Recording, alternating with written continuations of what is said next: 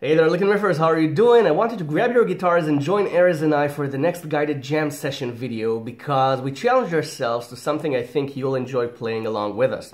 It's called the 12 Key Blues Challenge. Yep, I said 12 key blues, not 12 bar blues because we took the 12 bar blues, cut it in half, and every six bars at the middle of the 12 bar blues chorus and at the beginning of the next one, we modulated to a half step up.